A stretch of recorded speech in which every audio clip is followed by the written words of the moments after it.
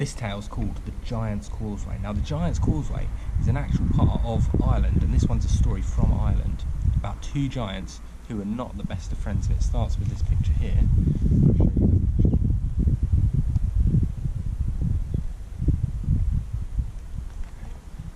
These two giants, and this is the story of how that place came to be. And it's a fantastic place, okay, the Giant's Causeway. Really, really interesting. There's lots of stone, okay, in fantastic shapes. Maybe you can look that up and have a look at a picture of the Giant's Causeway.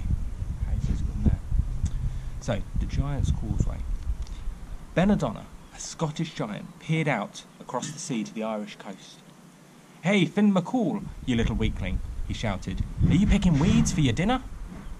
Finn had been pulling up potatoes. He straightened up and grunted with anger. His Scottish rival was said to be twice his size, but he, Finn of the Fianna, was a respected warrior, and he was not going to take insults from anyone. Why didn't you go and wash your filthy mouth out, Benandonner? I can smell your breath from over here, he shouted. The Scot bared his teeth as big as tombstones. Are you calling me unwashed? As dirty as a horsefly in dung. Benandonner's scowl was visible from across the sea. Ain't your lucky stars I can't swim, Finn McCool, or I'd come and crush you. Crush me, you big oaf, Finn boomed in reply. You couldn't swat a fly if it landed on your warty nose. Stop making excuses. I'll build you a bridge, Benandonner, so you can meet me face to face. He tore up a lump of rock from the cliff and hurled it into the water. Here's a stepping stone for you, Benandonner. And it landed with a splash that flooded half the fields in Cam- County Antrim. Splash! And here's another splash! And another. Finn, said his wife Una, what are you doing? Let the oaf try to crush me, Finn snapped. I've always wanted to tackle that silly lump of gristle. He continued throwing the enormous boulders into the sea until he'd built a bridge, a causeway, right across the channel from Scotland to Ireland. There you are, Benandonner. You can come and get me whenever you like. The bridge started to shake as the Scot tested the first boulder with his enormous feet. Finn, you're in no fit state to fight, Una exclaimed. You must be exhausted from throwing all those boulders. Let him come, bragged Finn. I'll flatten him.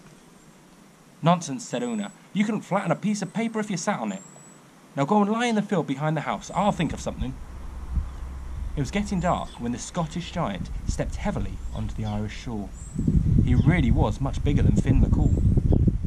Una was standing there, ankle deep in water, waiting for him. You Finn's wife? he asked. Yes, but Finn's not here, replied Una, her hands firmly on her hips. He went to get milk for the baby.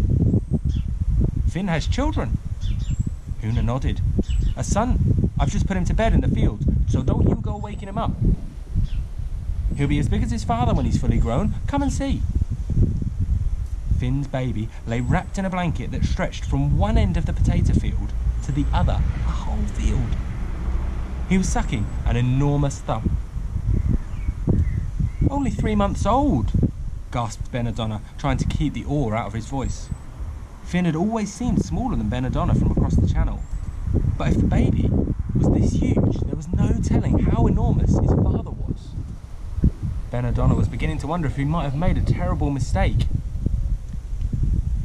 I can't wait to get my hands on your insolent husband, he said to Una, keeping his voice low so he wouldn't wake the baby. But I forgot to take my porridge off the fire. I was in such a rush to get here, I mustn't let it burn. Well, no sense, no sense in letting good porridge go to waste, agreed Una. Now that Finn's built a causeway, you can come and go any time.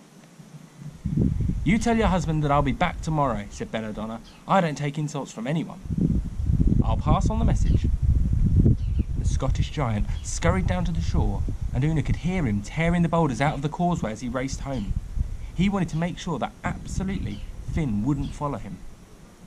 She poked the baby with her toe. Finn, take your filthy thumb out of your mouth. You can stop pretending now, Benandonner's gone. Finn sat up, pulling the blanket away from his face. Can you see what they've done? How they've tricked Benandonner. Good idea of ours to trick Benandonner into thinking I was my own son, he said with a grin. Yes, aren't we clever? Una snapped, heading in to roast a cow for dinner. Brains will always beat brawn in the end. I love that. A tale of how Finn tricked Benidorm. Okay? Do you see how he did it by pretending to be his own son? A great story, and like I say, the Giant's Causeway is an actual place in Ireland, okay, that stretches down to the sea. Okay, it's fantastic. It's, there's not any other, and many other places like that in the world. I think there's one in Cornwall, and I'll put a picture on to show you that. But we'll do a little bit of writing. That's going to be one of our free writes. That one because it's a fantastic little story, and again from a country nearby to ours. So I hope you enjoyed that. Take care and see you soon.